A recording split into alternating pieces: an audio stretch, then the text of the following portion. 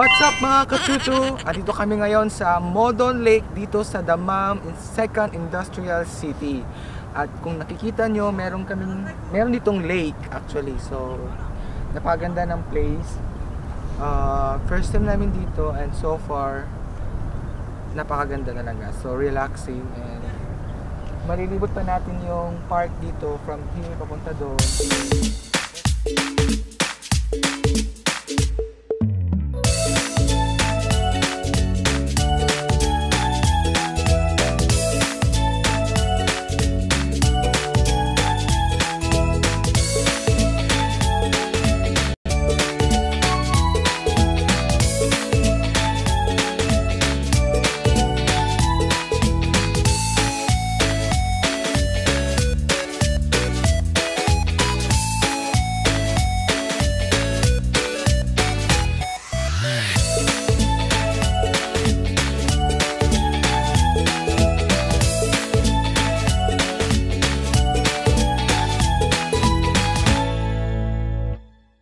City.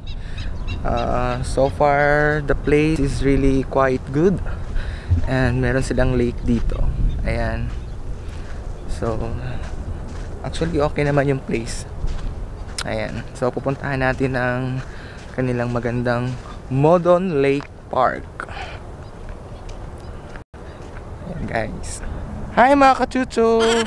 Ayan. So far, so nice. Naganda po dito. And ayan. So Benji, ano masasabi mo dito sa Modon Lake? No comment ka na naman. But, you know, dahil nga maganda yung place, pwede siya uh, mag ano dito, mag picnic. Kaya lang dapat siguraduhin nyo na nagpi-picnic kayo dito. Ik yung kalat natin, iligpit din natin kasi sayang yung place. Kasi may nakita ko dito madaming mga basura. 'Di ba? Kasi ganito mga mga park dapat inaalagaan natin 'yan. Porket hindi ito sariling bansa natin, so magkalat na lang ba tayo? So parang hindi kaaya-aya, 'di ba? So tayo ay mga turista dito. Siyempre, alagaan natin ang park nila. See.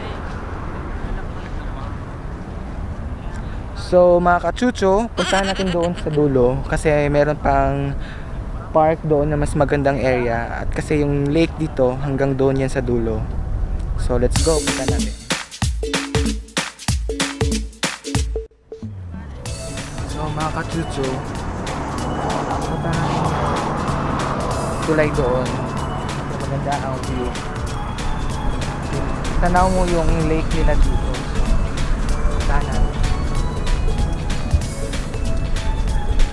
Sa gilid, highway na to.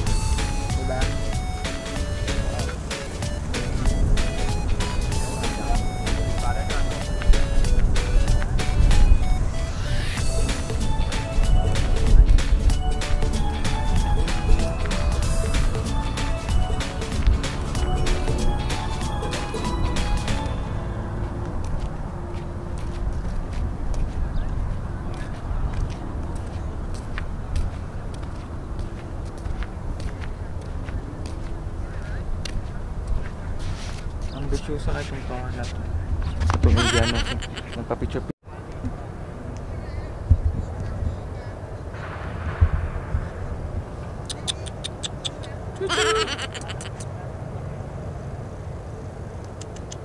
Uy!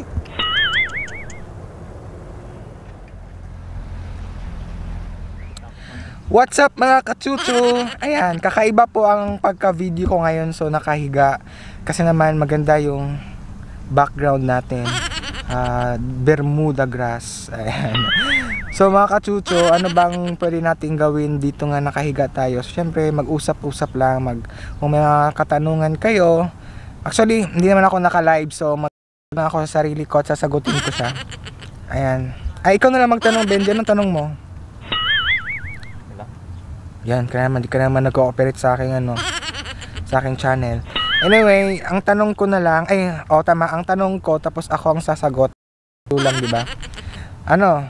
Um, about sa buhay namin dito sa Saudi Arabia. So, kung nagtatanong kayo, kung kung ano lang, kung nag ah, kung gusto niyo tanungin lang naman, no. Kahit ako yung nagtatanong, ilang years na kami dito sa Saudi Arabia. So, ano ba yung ba- background music mo? gusto mo na yatang umuwi. Pagtarong ba ka nag-vlog ko? Kinesa no? Benji. Sige, i-feature ta ka.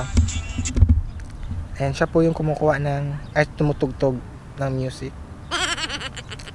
So, sasagutin ko na yung que- first question, kung ilang years na kami dito. 6 years and 8 months na kami dito. Actually, hindi kami dito una sa Alcobar City. Ah, first 2 years namin nasa Medina kami. At sobrang hirap po ng buhay namin doon. Ang hirap, ah, napakahabang kwento, mahirap na mahirap pa sa daga yung buhay namin. Ay, buhay talaga. So mga kachucho, natapos din ng aming pag-iikot dito sa Modon Lake. At napakaganda po talaga ng place. Ayan o, tinan mo, nakahiga-higa lang ako. Kasi naman maganda talaga, di ba? Kung nakita nyo, ah, malinis. At saka talagang well-maintained ang park na to dito sa Damam City. And nag-enjoy din kami kahit malayo ang paglalakbay. 30 minutes po from Alcobar City papunta dito sa Second Industrial ng Damam City. So, kung nandito kayo sa Damam, mga kababayan, puntahan nyo dito. Try nyo i-visit ang Modon Lake kasama ng mga kaibigan nyo, family nyo.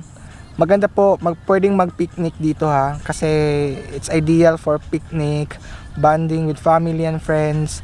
At saka meron din tayong nakitang mga palaruan sa mga bata. So, good ideal talaga to para sa lahat ng pamilya. And magdidilim na kasi. So, gusto ko lang mag-thank you po sa lahat ng mga nag-subscribe sa akin channel, sa mga nag-like sa Facebook page ko. Maraming maraming salamat. Keep on watching guys kasi ah, para ma-inspire din tayo mag-video. Ayan. So, until next time, dito pa rin po sa channel ko, sa Facebook page ko, and kita-kits soon. See ya, bye-bye!